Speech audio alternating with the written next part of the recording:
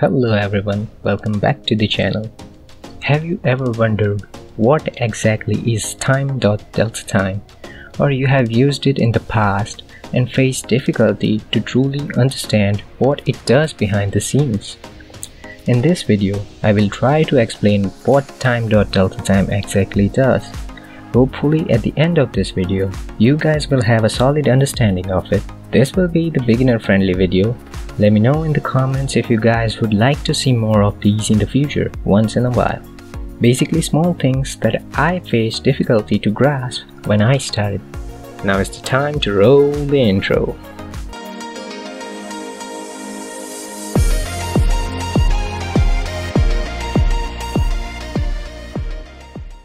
Let's start with the basic theory. Unity has a class named time, which provides an interface to get time-related information. It has a property called delta time, hence time.delta time. What is delta time? The textbook definition from the official documentation is on the screen. It is a time interval between your two consecutive frames. It will mostly used within update method. As we all know, update gets called every frame. So if you have 300 FPS, it will call 300 times in 1 second. I truly believe that a person will better understand the concept if you teach them how they can use that concept in real life scenario. So let's try to understand it practically by moving our cube.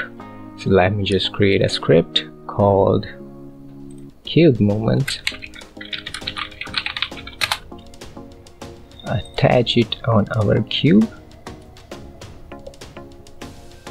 and double click to open it.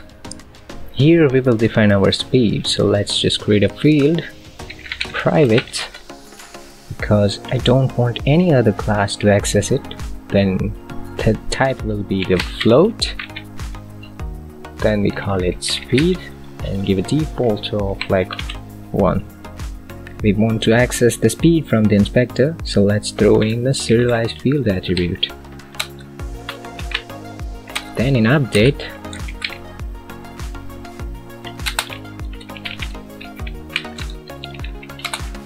let's just move our cubes. So let me just use transform to translate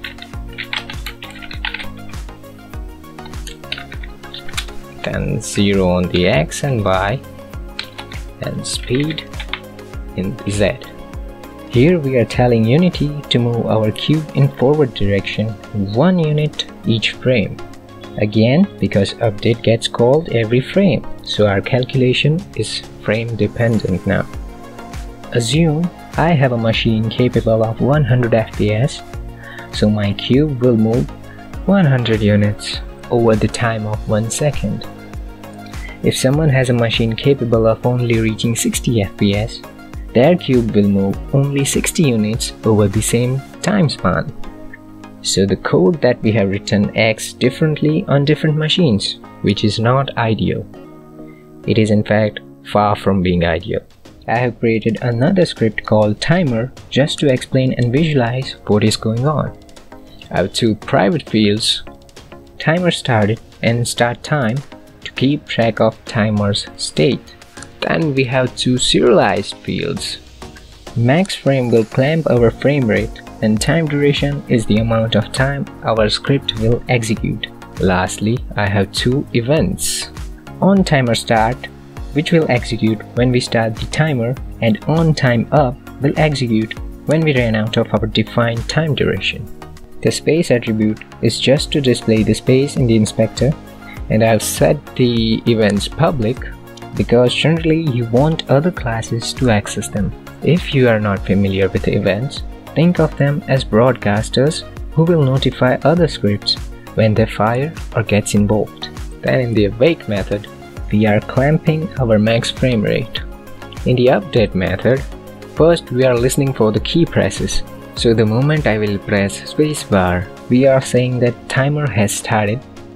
Then we are getting the time at which our timer started and then firing the on timer start event.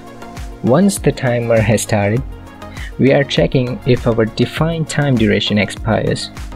This time.time will give us the time in seconds that has been passed since we hit the play button.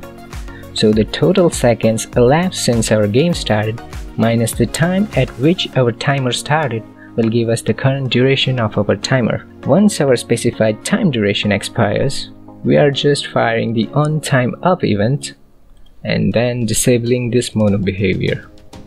I'm also logging some information while our timer is running.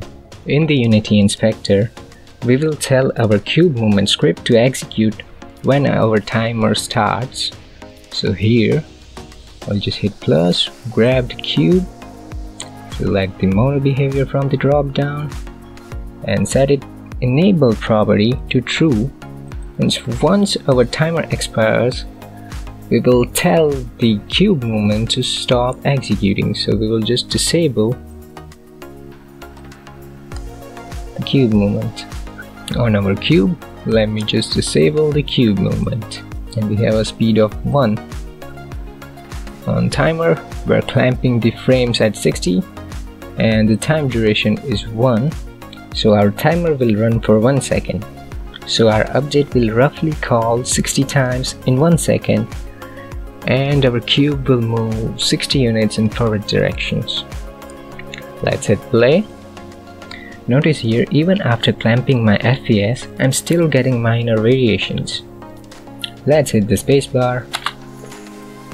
So our cube moved around 60 and it will not exactly be 60 every time because of the minor variations in the frame rates as you can see in the console.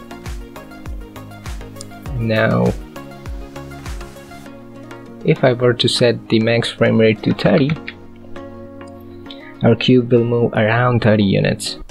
Let's test. So yeah, 30 FPS. Let me hit the spacebar. The our cube have moved around 30 units. So even the cube movement code is same, the output can vary based on different machines processing power. To fix that, we'll just multiply our speed with uh, time dot delta time. You have most probably heard the term we have made it frame independent. While it is technically correct, I think it's a bit ambiguous. Better term to use is we have made it time dependent. Basically we are telling Unity that move our cube this amount of unit over the course of one second. Let me give you a quick example here.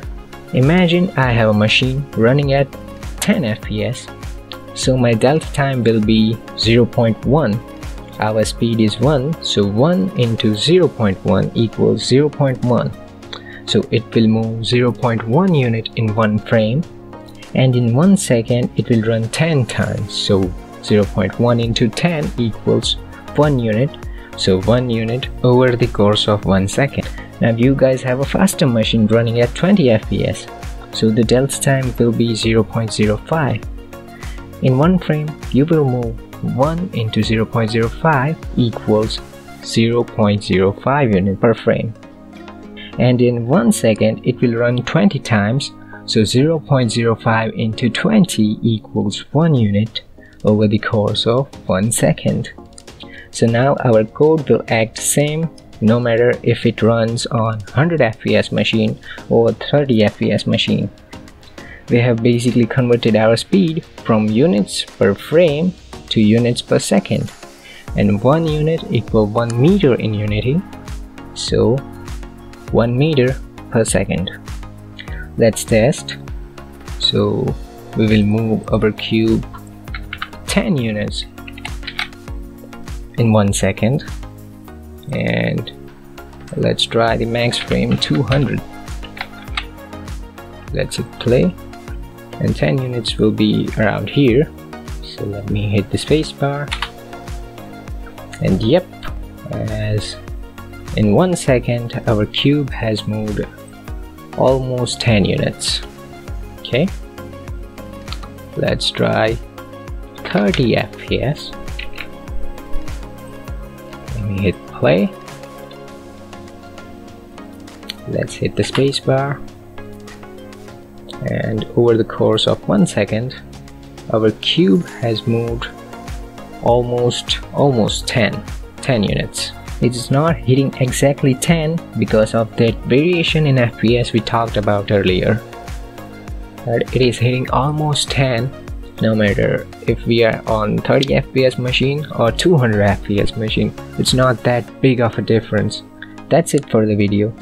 I hope you guys can now confidently use time.delta time in your own code with better understanding.